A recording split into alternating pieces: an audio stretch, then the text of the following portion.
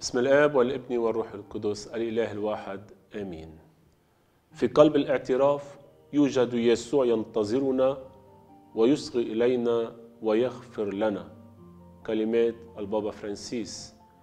لكلنا أخواتي أخوتي الأحبة اليوم مدعوين أن نصلي له. برحلته للي عم بيقوم فيها ببغداد بالعراق. لربنا يكون معه وتكون هالرحلة مثمرة وتعطي كلمة للكنيسة من ثبات من شهادة حقيقية ومن خلالها يكون في ثمرة خاصة السلام والمصالحة بهالشرق. فربنا يكون معه ويكون بخلال هالرحلة اللي عم بيروح فيها على العراق كلها خير على كل الناس إذا الله راد.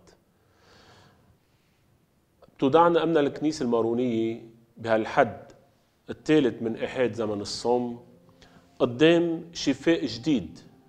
من بعد شفاء الأبرص والمنزوفي ثمرة إيمان نتوقف اليوم مع قصة شفاء من نوع آخر شفاء بيطال أعمق أعماق الإنسان المتألم شفاء الحرية المريضة للي بتأدي بالإنسان لفقدان أثمن ما بيملك فقدان هوية ابن الله.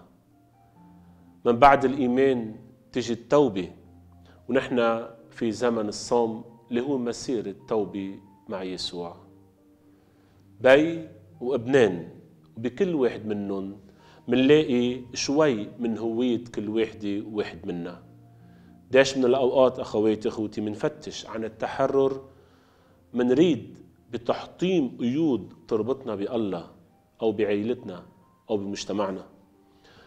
منرغب بكثير من الأوقات أن نترك كل شيء نقلل من أهمية يلي منملكه ومنفتش عن سعادة القلب بعيدة عن الله اللي هو أساسا ينبوع ومصدر كل حياتنا وكل خيراتنا.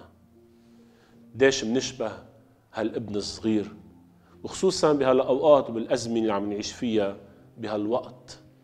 منريد أن نكون أسياد على أنفسنا فمنترك الآب السماوي منغادر بيتنا الأبوي. ومنبتعد عن الكنيسة وعن الجماعة المؤمنة ومنصير رايحين عم نفتش ورا شهوات ورغبات وملذات بتروح مباشرة وما بتروي زم قلبنا للسعادة الأعمق والحقيقية. منفتش عن سعادة نصطدم بتعاسة وجودنا الفارغ. نسعى ورا حريتنا فمنلاقي أنفسنا مستعبدين لحقارة لذاتنا ورغباتنا الجسدية والمادية ولدناءة الخطية المتربصة فينا. نتعب من قذارة الخطية نتألم من جراح معاصينا فبتصير أعمالنا أحمال ثقيلة على كواهل ضميرنا ومنطوق دايما أن نتحرر منها. أخواتي أخوتي قصة خطية هالابن الصغير هي قصة كل واحد وواحد منا. لما منعيش الخطية.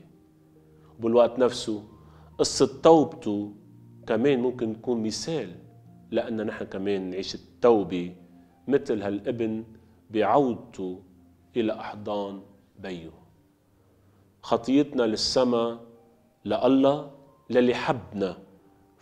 فجاوبنا على محبته بأن ابتعدنا وبعدم أن نكترس أنه هو دايما ناطرنا. دخل الله معنا بعلاقة حب وصداقة. فتركناه رافضين محبته ومستسلمين لروح العالم. كل شيء بيتطلبوا منا حتى أن نكون بحالة استعباد. صح؟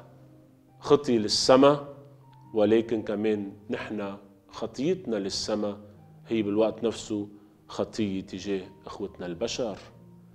أختينا لكنيسة يسوع المسيح. اختينا لخينا الإنسان وخلينا يكون عبد لشهواتنا ومصالحنا الخاصة ولنزواتنا مشان هيك اليوم بيتطلب من كل وحدة وواحد منا أن نتقدم من سر المصالحة وسر التوبة. للي قداسة البابا فرانسيس بشدد على ما في قلب هذا السر من خلال تعليقه على نية الصلاة لشهر إيدار بال 2021 بيقول قداسة البابا عندما أذهب للاعتراف أشفي ذاتي أشفي نفسي لكي أنطلق من جديد بصحة روحية أكبر لكي أنتقل من البؤس إلى الرحمة. في قلب الاعتراف ما من خطايا نتلوها إنما الحب الإلهي الذي نتلقاه والذي نحن بحاجة إليه على الدوام. بيكمل قداسه البابا وبيقول في قلب الاعتراف يوجد يسوع الذي ينتظرنا ويصغي إلينا ويغفر لنا. تذكروا دائما هذا أخواتي إخوتي. قبل خطايانا يوجد نحن في قلب الله. كلمات قداسة البابا. ما هي إلا نتأكد لنا اليوم تيكون صومنا كامل بدنا نملك القليل القليل من رحمة الله ومحبته لإلنا. بالوقت نفسه بدنا نعيش سر توبة مستمر. خلونا نصلي مع قداسة البابا اليوم. حتى نعيش فعليا سر المصالحة بعمق متجدد.